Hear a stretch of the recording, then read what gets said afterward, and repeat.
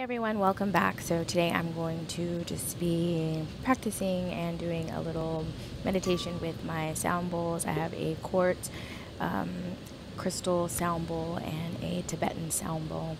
So I hope that you guys enjoy this video and this little tap into my practice and I hope that it brings a sense of calm and peace. If you are sitting or lying, I suggest you take a beautiful deep breath um, and just use this next few minutes to allow the sounds to help you connect.